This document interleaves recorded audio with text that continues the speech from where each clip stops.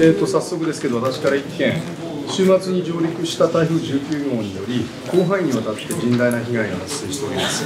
でこの度の災害で亡くなられた方々に哀悼の意を表するとともに、被災された方々に対して心よりお見舞いを申し上げます、えー、今回の台風第19号による文部科学省関係の被害として本日、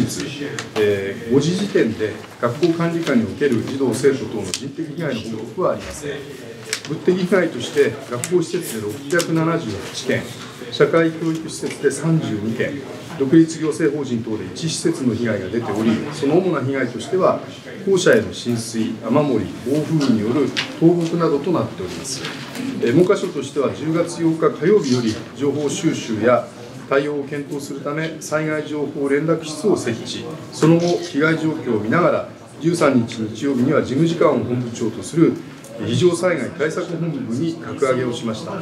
昨日その第1回会議を開催するなど文科省と全体として災害の対応をしております。また昨日武田防災担当大臣を代理長とする政府調査団の一員として文科省の職員1名を福島県に派遣をしました。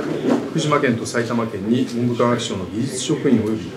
構造の専門家を派遣をしました。本日も職員3名を長野県に派遣する予定です。引き続き子どもたちの安心安全な教育環境の確保に向け関係自治体ともよく連携し被災者に寄り添いながら先手先手で被災地の支援に全力を尽くしてまいりたいと思います。私からは以上です。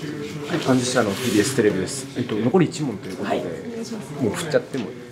はい、あの質問のある者さんはいかがでしょうか？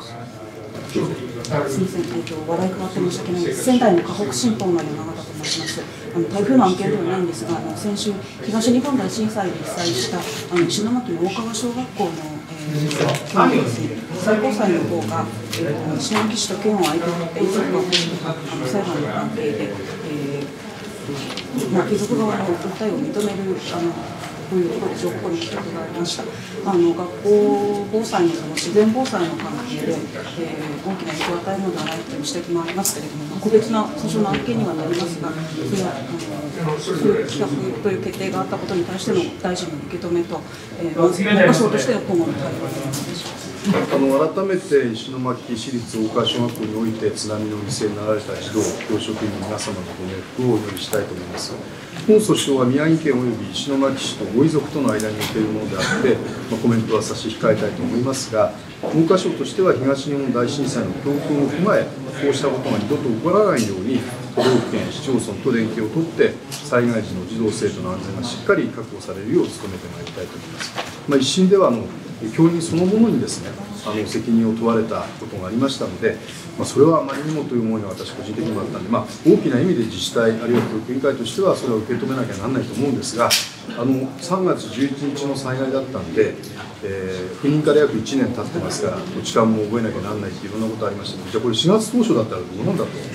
退属されてすぐにですね地域の事情まで教員の皆さんの全てを網羅するという大変なことだったので、まあ、そうは言っても子どもたちの安全を守っていかなきゃならないのでこれをしっかり教訓としてですねあのそれぞれ赴任先の教学校のですね災害対策どういうものがあるかというのはしっかり学んでもらうような仕組みをしっかり作り上げていきたいと思います。